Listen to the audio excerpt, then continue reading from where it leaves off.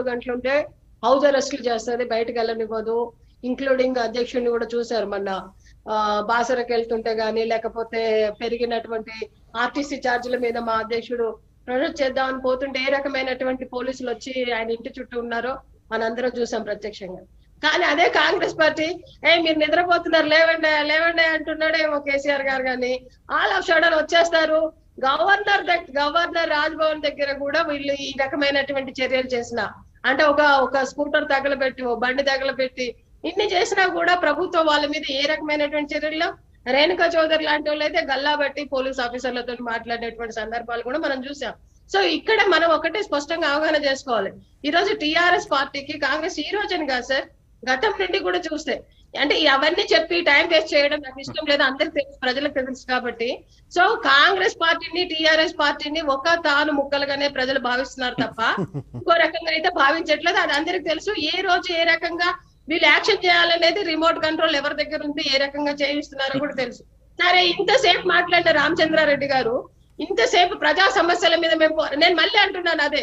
మీ మీ వ్యక్తుల దగ్గరకో మీ నాయకుల దగ్గరకో ఇష్యూస్ వచ్చినప్పుడు మీరు దాన్నే హైలైట్ చేసి ప్రజల సానుభూతిని పొందాలని చూస్తున్నారు. బట్ మరి ప్రజలకు తెలుసు అరవై సంవత్సరాలు మీరు పరిపాలన చేసి ఏం చేయలేకపోయారు.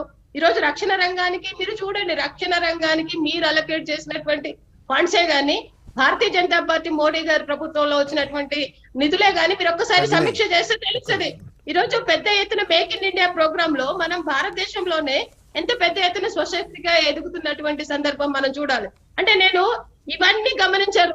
ఇవన్నీ మీకు తెలిసి కూడా చెప్పరు. ఎందుకంటే మీ పార్టీ మీ యాంగిల్లో మాట్లాడతారు. బట్ నేను ఒక నేను నేను ఒకటే చెప్తున్నాను రాకేష్ గారు కానీ రామచంద్రారెడ్డి గారు కానీ ఈ భారతీయ జనతా పార్టీ వచ్చిన ఎనిమిది సంవత్సరాల కాలంలో మార్పు ఈ రోజు ప్రపంచ వ్యాప్తంగా భారతదేశాన్ని ఈ రోజు ఒక ముందస్తు ఉంచినటువంటి సందర్భమా కాదా? ఈ రోజు గర్వంగా మన భారతీయులు బయట ఉన్నటువంటి భారతీయులు కూడా గర్వంగా చెప్పుకునే స్థాయిలో మన ప్రధానమంత్రి ఉన్నారా లేరా? అది మనందరికి తెలుసు. మనం బయటికి పోయినప్పుడు కూడా మనం చెప్పుకుంటాం. నేనేమంటున్నా తమ్ముడు రాకేష్ గారు నేను ఏ కరువు పెట్టి చెప్పాలంటే ఈ రోజు ఒక రోజు సరిపోదు. టీవీ ఫైవ్ మనకు అంత టైం కూడా ఇవ్వదు. ఎన్ని ఇచ్చాము ఈ తెలంగాణకి? తెలంగాణ ఏం చేసింది? ఆ నిధులని సక్రమంగా వినియోగించిందా? వినియోగించగలిగిందా? కొన్ని స్కీములు సార్ మనకు తెలిసే సిక్స్టీ ఫార్టీ ఉంటాయి సార్. సిక్స్టీ పర్సెంట్ కేంద్ర ప్రభుత్వం ఇస్తే ఫార్టీ పర్సెంట్ అయినా వీళ్ళు ఇవ్వాల్సినటువంటి పథకాలు ఉంటాయి సార్. రజనీ గారు రజనీ గారు మీరు అన్నట్టుగా ఆ మొత్తం చర్చించడానికి ఇప్పుడు టైం సరిపోదేమో కానీ పంపించండి టీవీ ఫైవ్కి మరి. మీరు అన్నట్టుగా ఈ ఈ మూడు సంవత్సరాలు లేదంటే గత ఐదు సంవత్సరాలు మొత్తం సార్. ఈ ఎనిమిది సంవత్సరాల్లో కేంద్ర ప్రభుత్వం రాష్ట్రానికి ఇచ్చిన నిధులు సరే మీరు అన్నట్టుగా సిక్స్టీ ఫార్టీ రేషియోలో వచ్చినవి కానీ ఆ లిస్ట్ అంతా మీరు ఇవ్వండి. రాకేష్ గారిని మీరు అడిగారు కదా ఐదు లక్షల కోట్లు ఏమో అప్పు తెచ్చారని. వాటి నుంచి ఏం చేశారో పంపించండి ఇద్దరు. రామచంద్రారెడ్డి గారు కూడా బస్ అయిందా శ్వేతపత్రం అడిగినట్టున్నారు చూద్దాం. లెక్కలు చూసి టీవీ ఫైవ్ కూడా చేస్తుంది కావాలంటే ఆ పని టీవీ ఫైవ్ కూడా చేస్తుంది. వాళ్ళకి టైం లేకుండా మీరు చేసి పంపించండి ఫైవ్ దాన్ని జనబాహుళ్యంలోకి తీసుకుపోతాం. ప్రజల ముందు పెడదాం దాన్ని. కేంద్రం రాష్ట్రానికి ఏం చేసింది? రాష్ట్రం తెచ్చిన అప్పులతోటి రాష్ట్రం ఏం చేసిందని బీజేపీ అడుగుతుంది కాబట్టి రెండు కూడా బయటకు తీసుకొద్దాం. రజనీ గారు పంపించండి నేను ఒక్కటే అడగదలుచుకున్నా సార్. ఈ రోజు నేను హైదరాబాద్లో హైదరాబాద్ అనేది తెలంగాణకి గుండెకాయ సార్. ఈ హైదరాబాద్ ఏ రకంగా అందరూ నిర్మాణం చేసుకున్నామో అటు కాంగ్రెస్ కానీ తెలుగుదేశం కానీ గతంలో ఉన్నటువంటి ప్రభుత్వాలు కూడా ఏ రకంగా నిర్మాణం చేసుకున్నాయో మనందరికి తెలుసు. దాన్ని ఎవరు కూడా కొట్టివేయలేనటువంటి పరిస్థితి. ఈ రోజు వరకు సార్ ఈ రోజు వరకు ఒక హాస్పిటల్ నిర్మాణం చేయగలిగారా మీరు? ఇంత పెద్ద హైదరాబాద్లో గతంలో నిర్మించినటువంటి వాటినే మీరు పెట్టుకుంటున్నారు తప్ప ఇన్ని లక్షల కోట్ల రూపాయలు అంటే మీరు ప్రతి ఏడు కూడా రెండు లక్షల పైచీలకు బడ్జెట్లో ప్రవేశపెడుతున్నారు. మరి ఎక్కడ కన్స్ట్రక్టివ్గా వర్క్ జరుగుతుంది? మేము మేము సామాన్య పౌరురాలుగానే అడుగుతున్నాను. ఈ హైదరాబాద్ని మీరు చేసిన డెవలప్మెంట్ ఏంది? ఒక ఫ్లైఓవర్స్ తప్ప.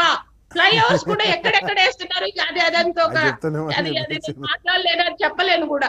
ఎవరికి ఏ రకమైన అనుకూలమైనటువంటి వాళ్ళు ఉన్నారో వాళ్ళ దగ్గర మాత్రమే ఫ్లైఓవర్స్ వేస్తున్నారు. మిగతా చోట్ల మామూలు రోడ్లు కూడా లేనటువంటి పరిస్థితి. అందరికి తెలుసు. నేను ఏమంటానంటే రాకేష్ గారు ఇంతగానం చెప్తున్నారు కదా. మీరు కాళేశ్వరం మిషన్ భగీరథ తప్ప ఇంకెవరో చెప్పగలుగుతారా? రైట్ ఎందుకు ఇంట్లో నిర్మాణం జరగలేదు ఓకే ఓకే. ఇప్పుడు మళ్ళీ అన్ని డీటెయిల్స్ సమయం కూడా ఉండదు బట్ నేను చెప్పింది అయితే ఫాలో కండి రజనీ గారు. మీరు కూడా కావాలంటే బీజేపీలో మీ పార్టీలో కూడా కొంత మాట్లాడి మొత్తం రిలీజ్ చేయించండి దాన్ని. సార్ టీ ఫైవ్కే పంపండి లేదంటే బహిరంగ రిలీజ్ చేయండి. మీరు డిమాండ్ చేసినట్టు రాకేష్ గారు అని కూడా నేను అడిగాను. ఆయన కూడా అప్పులకు సంబంధించి తెచ్చిన అప్పులు ఏంటి ఎక్కడెక్కడ పెట్టారో బయట పెడితే దాని మీద చర్చ పెడదాం దాని మీద ఏమైనా తేడాలు ఉంటే కూడా ఎంక్వైరీ చేద్దాం.